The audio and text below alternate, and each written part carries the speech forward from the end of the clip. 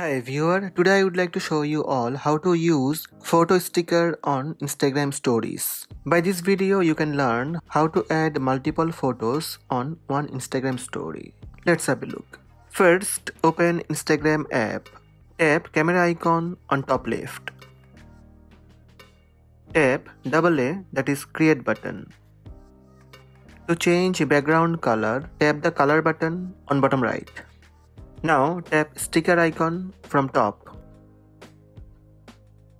Scroll down a little bit and you will see photo sticker. Tap photo sticker.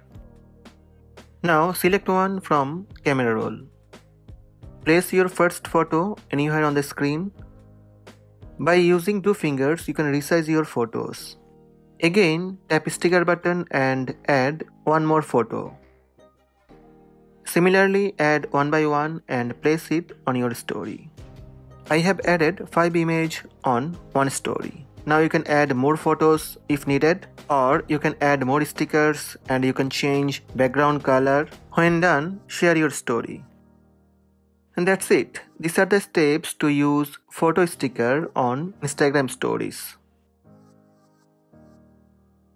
Hope this video help you. Please subscribe my channel by tap subscribe button. Also tap the bell icon to receive notifications about all new videos.